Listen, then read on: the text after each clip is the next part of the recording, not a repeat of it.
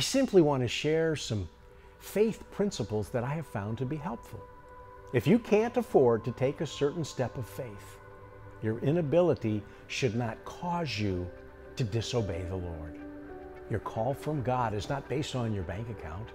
If the Lord calls you, He will equip you for the call. Don't let either lack or abundance confuse you. You need to know the will of God for your life. You see, just because you cannot immediately afford to take certain steps, it does not mean that the steps are not part of God's plan for your life. Likewise, just because you can afford to make a certain decision, that's not always a good enough reason to make the affordable choice.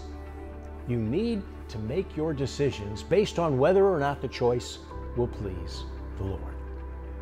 If you know that the will of the Lord is, is clear about a certain matter, you must obey the Lord. He's well able to provide for the costs if He has directed the decision. Conversely, if you're pursuing a decision that is not according to the will of the Lord, even if you think you can afford it, God is equally well equipped to ensure that you can't afford it after all. Trust me, funds have a way of drying up or costs can escalate unexpectedly.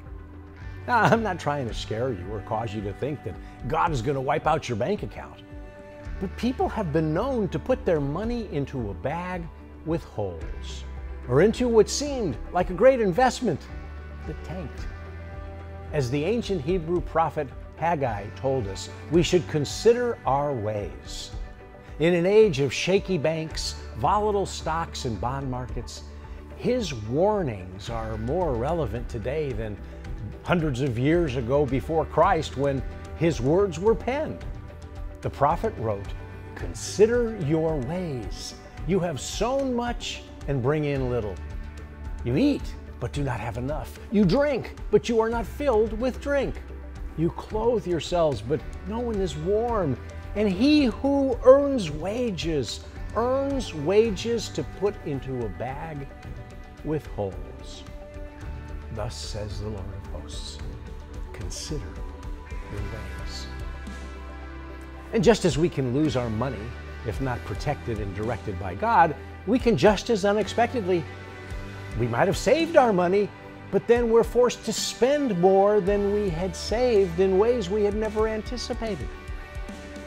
Have you ever had your household budget or some business or ministry project knocked off course by some unforeseen skyrocketing cost or an emergency expenditure that whacked your well designed plan?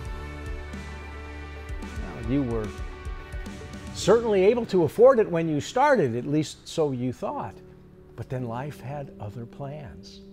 It's a terrible feeling to have saved enough for the expected budget, but then ran out of money due to cost overruns, or you learned your bag was full of holes. That is why it is much more important to know the will of God than to know a good accountant or project coordinator.